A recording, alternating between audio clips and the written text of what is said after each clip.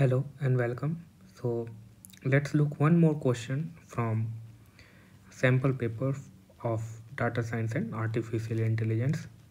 So far I have solved uh, many problems from this sample paper that you can go through.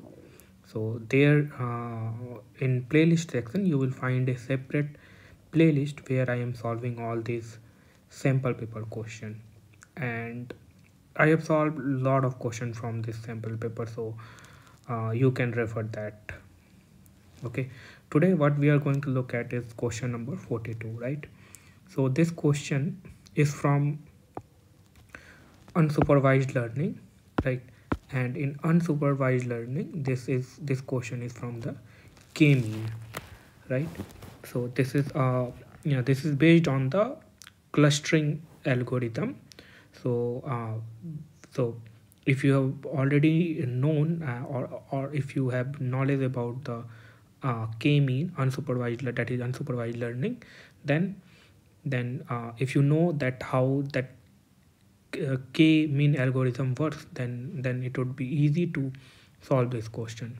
Okay let's look at this question what question is asking. That given a data set so we have given this data set right so this these are the coordinates of the data set right? So in unsupervised learning so you will have to make the or particularly in k-mean what we try to do is we try to uh, we try to make the clusters of the uh, similar kind of data right? So that you you will have to look into the theory. So right now i'm solving this question. So we have this uh, data set. And what we have given is the three centroids so in theory if you have already learned then you there you have heard about this uh, that centroid is that uh, mu1 or here we have uh, notation that c1 that c1 c2 c3 the three centroid we have given right? So uh, generally uh, how we uh, generally we pick the random centroid right? And it is preferable or recommended to to pick the uh, random to pick the first uh, centroid to pick the first k centroid uh, on the data point itself. So it is the recommendation. So instead of picking a ra random centroid what we what we do is pick the centroid from the given data set itself. So if you look at these centroids c1 c2 c3 so these are all on the in the data set right?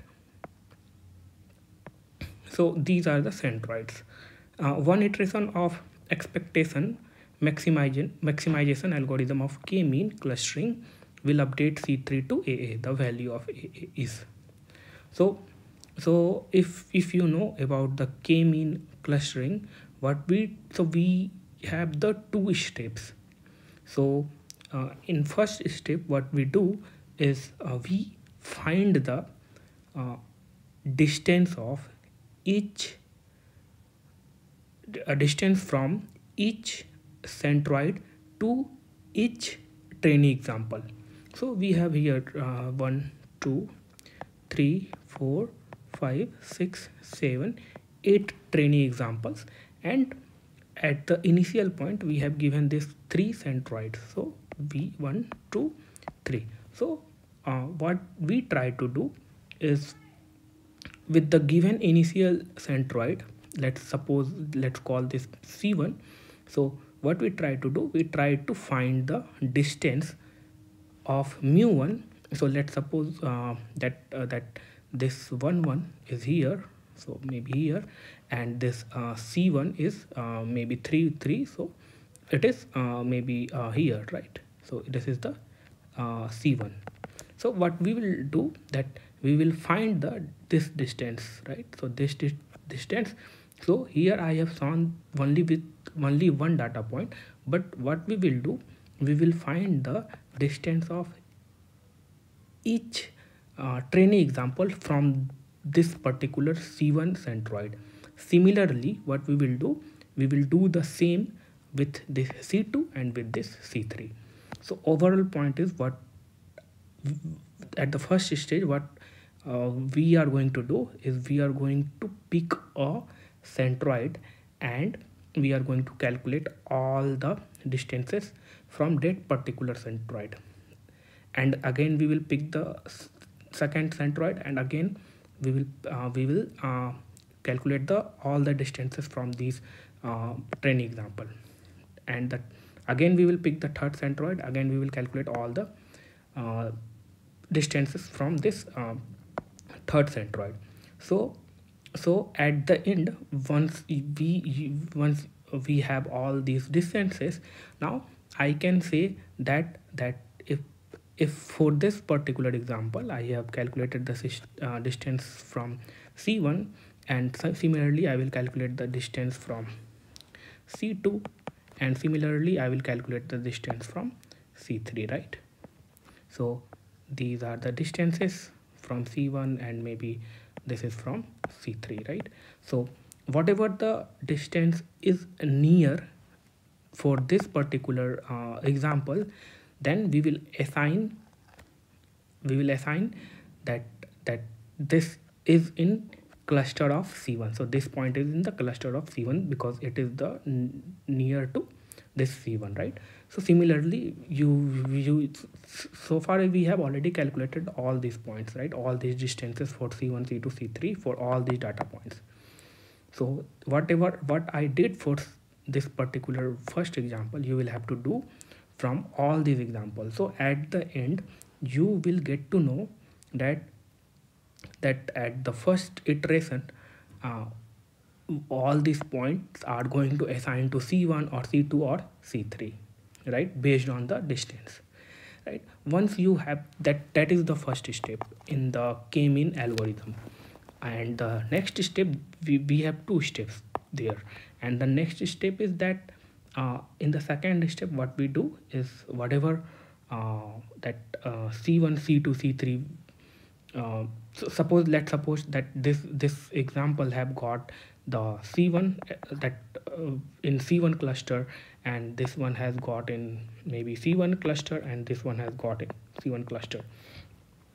So now in next second step what we will do so in next step we will find the we will move the or we will update the centroid. So the initially the centroid was 3 comma 3 at the location of 3 comma 3 now in second step since we know that these clusters these points are in the c1 cluster now in second step what we will do? We will try to update this c1 new. And how we will how we are going to update this? By taking the mean of these uh, point right so so x coordinate will be 1 plus, uh, 5 plus 0 divided by 3 and y coordinate will be 1 plus, uh, 1 plus 5 plus, uh, 3 divided by 3 so that will give you a c1 new and your centroid that c1 will move to uh, this c1 new position. So this is the complete algorithm that if you have already gone through the k-mean then you have you should have knowledge about this right so i just gave an overview. Now more detail you will read in the theories right? Look okay let's let's jump to the problem. So i should not explain all this thing because these are the part of the theory but but uh, just to give you an reference uh, i am explaining this right?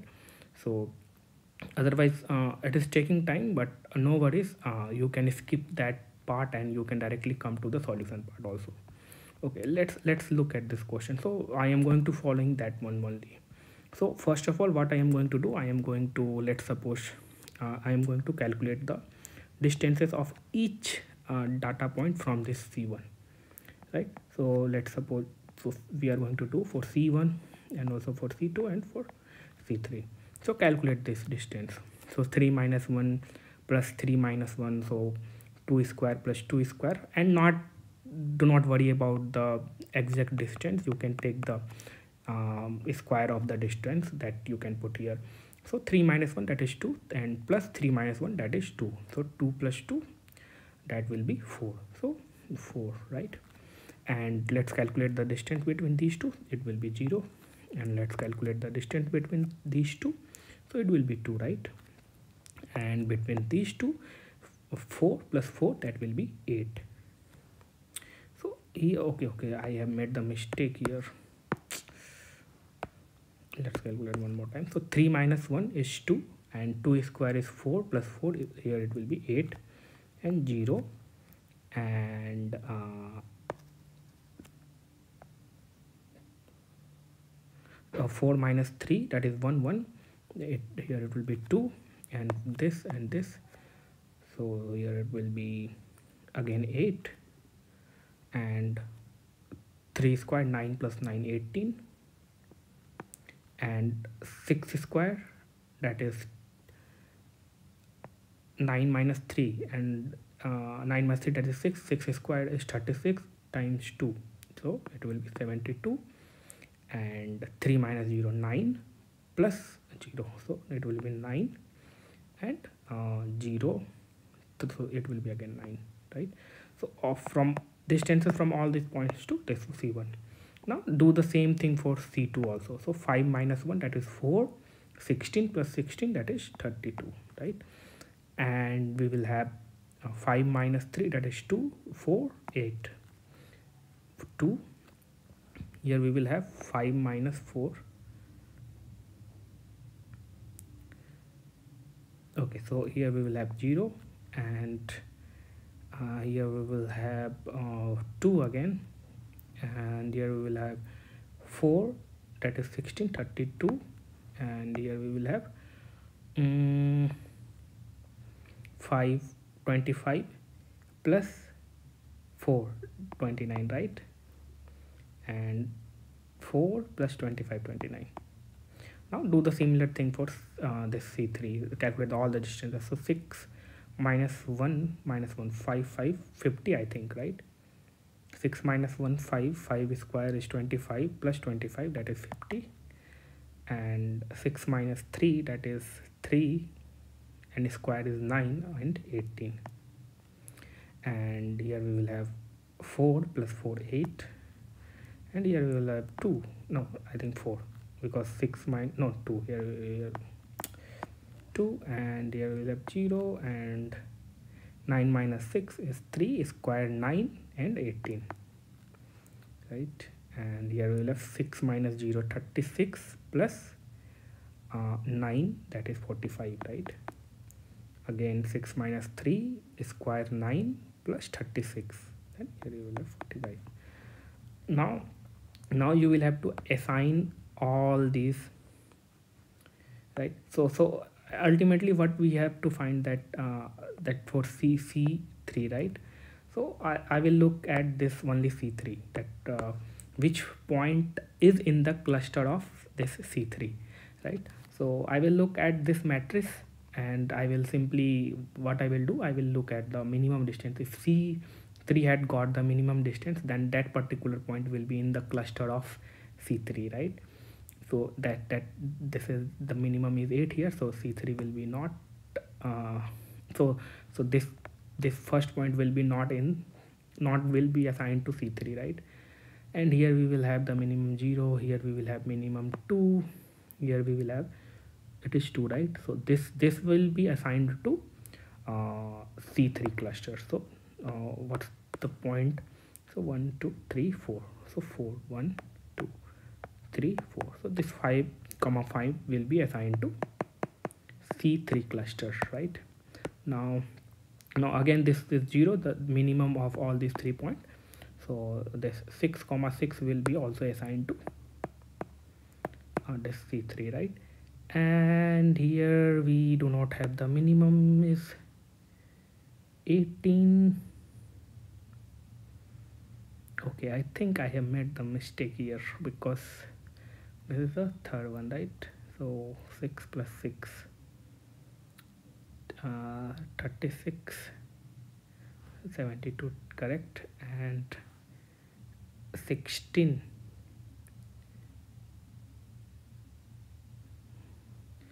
okay this is correct. And here it should be 9 minus 3